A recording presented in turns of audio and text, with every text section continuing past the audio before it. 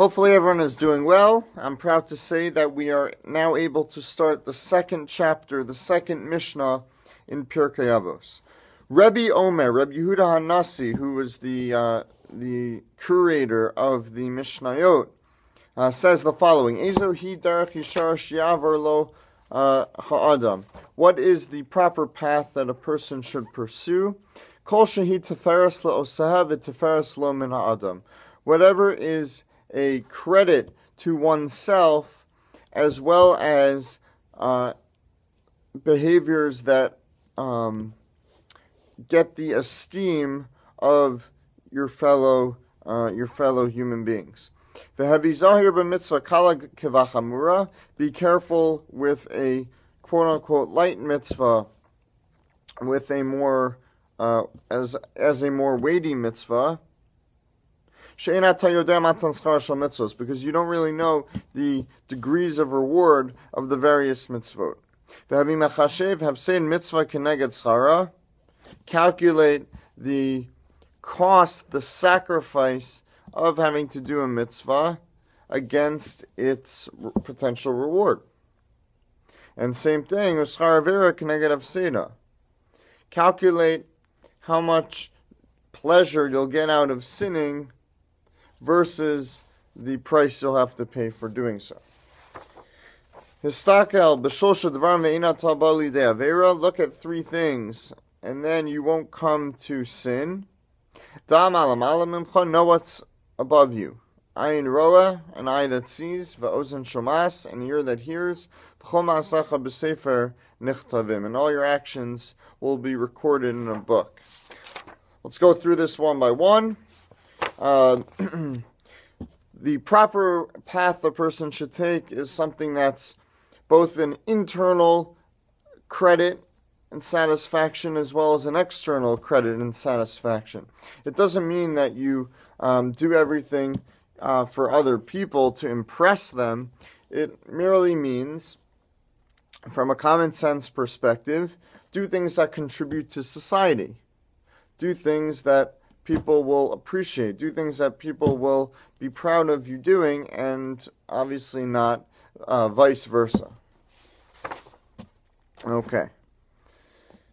Um, in terms of the the next part, in terms of doing, uh, in terms of mitzvot that are perceived as light versus mitzvot that are perceived as heavy, so we're t- we're we're told here that we don't really know we don't really know the the uh, the order of things. Rabbi Wein actually puts it a slightly different way. He says that uh, sometimes you'll come across what you think is a light mitzvah, and you'll think to yourself, "I can ignore this for right now because I'm looking at the grander uh, mitzvah that's around the corner.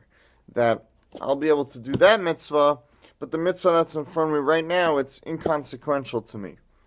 So Rabbi Yehuda is saying, no, that, that would be making a mistake to forego a light mitzvah because you see potentially a heavier mitzvah, a weightier mitzvah down the road.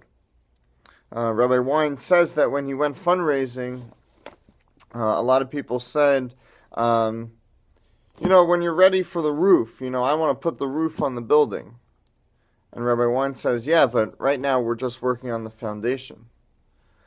And uh, so, you know, people sometimes overlook the more simple uh, tasks in life that in favor of the grander tasks in life, and really both are important.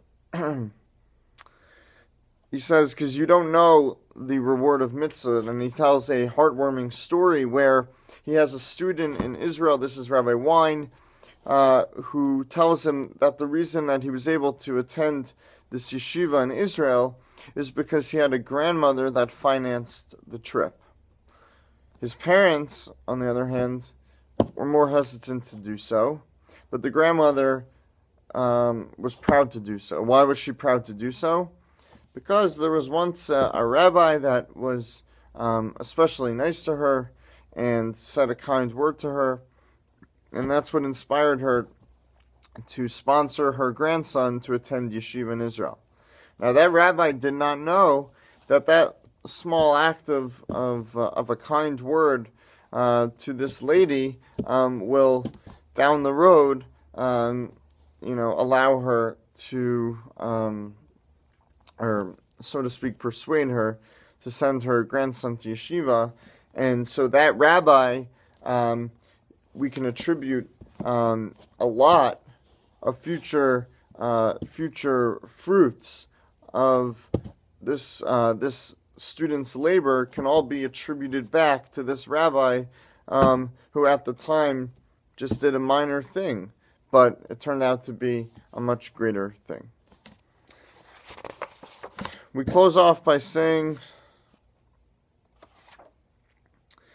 oh, and then the next thing is that you should calculate um, how good it is to, how good it feels to sin versus what it's going to cost you, and as well as how much it's, it takes to sacrifice for a mitzvah versus how much reward you'll get from that. And uh, a lot of people make decisions in the moment, and yet our Mishnah is saying to take a more of a long term glance uh, at our actions and to uh, really think about them before we do them. And that connects to the last part of the Mishnah, which is that if you look at three things you won't you think of uh, three um, three things you won't come to sin um, that God will always see, hear, and record everything that you do. Right nowadays, we certainly have um, you know bugging devices and uh, hidden cameras.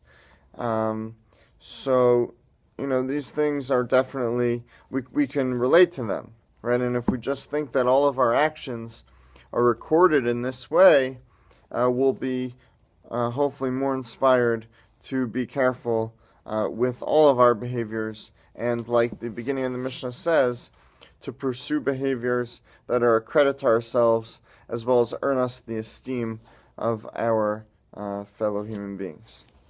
Have a Shabbat Shalom, a good weekend.